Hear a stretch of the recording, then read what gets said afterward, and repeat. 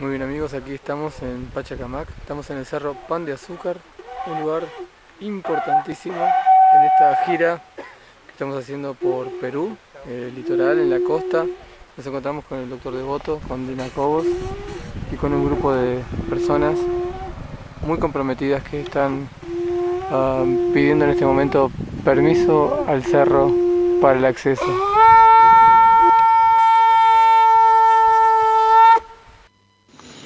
Luego de el almuerzo en un restaurante donde venden pescado,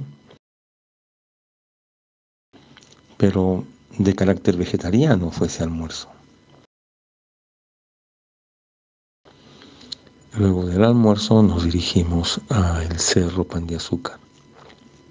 Bueno, estábamos viendo estas imágenes que desde aquí, Pachacamac, y estábamos hablando de pan de azúcar, ¿no? Y tú me dices, hay otro pan de azúcar, estamos hablando del triángulo. ¿Qué es lo que tú me dices? Este, o sea, también se llama pan de azúcar allá en Uruguay. Sí, en Uruguay tenemos, pero también en Brasil. El triángulo es Brasil, Cusco, sur de...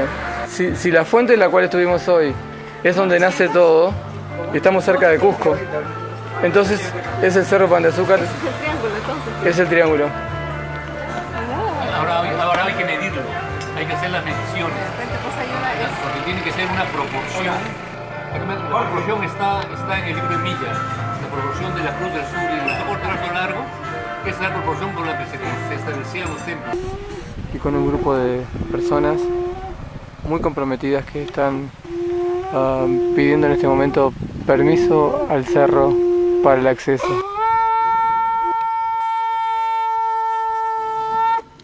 El Cerro Pan de Azúcar está en el centro del Valle de Pachacamac.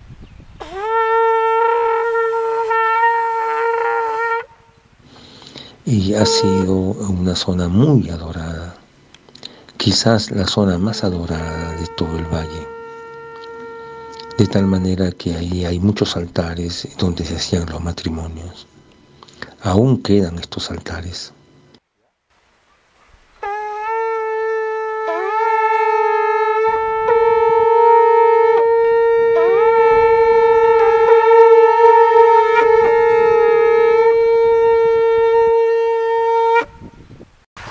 Aquí estamos en el centro del universo peruano. Y entonces fuimos ahí para hacer una ceremonia de fuego. En el trayecto vimos eh, tremendos trabajos en roca y vimos hasta una serie de puertas dimensionales.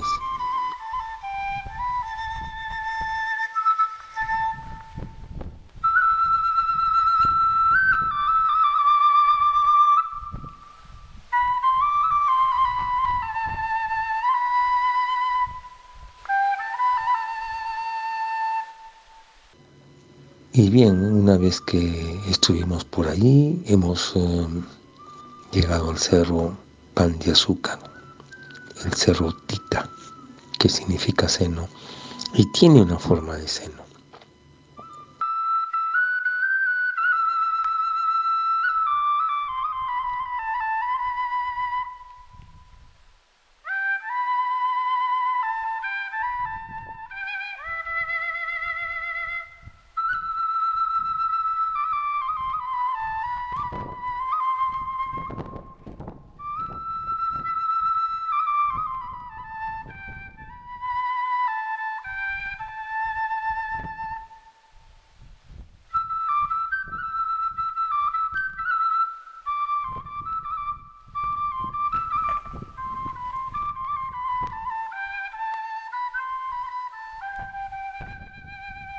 Vamos a ingresar a este espacio, que es el lugar donde se practican las sanaciones con el agua, agua radiactiva, según los especialistas lugareños.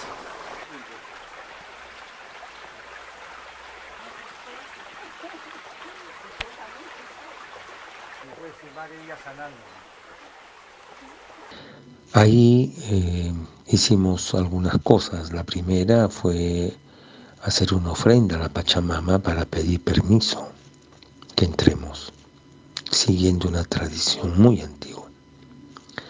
Luego hicimos eh, la ceremonia de fuego. Para hacer la ceremonia de fuego yo me bañé así llamémosle, me lavé en el manantial que está a las faldas de este cerro Pan de Azúcar.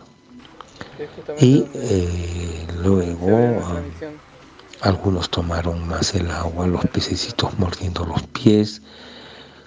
Y salimos de ahí y empezamos la ceremonia de fuego con las fotos que hay de esta ceremonia, incluido las características de fuego en las cuales aparece un Ganesh, un elefante de fuego.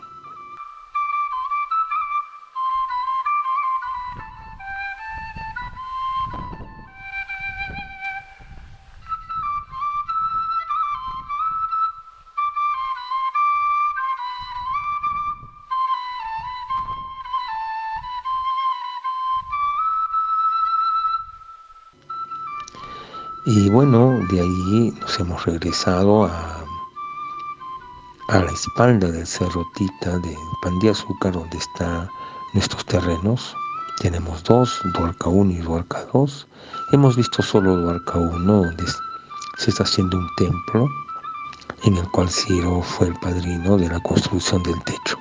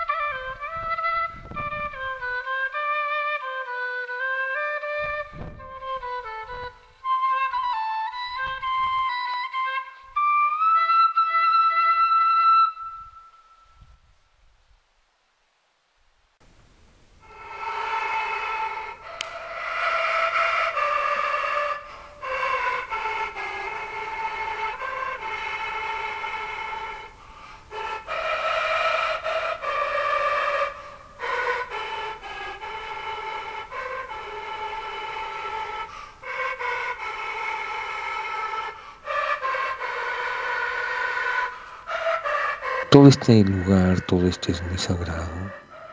Toda esta zona era el inicio de los caminos del Inca desde la costa hacia la sierra en Cusco, lo que se conoce como Capacñán. Así, queridos amigos, hemos hecho un, un día completo de introspección y de sentimiento espiritual. Un abrazo, querido Ciro. Un abrazo para todos los amigos oyentes. Grande para todos.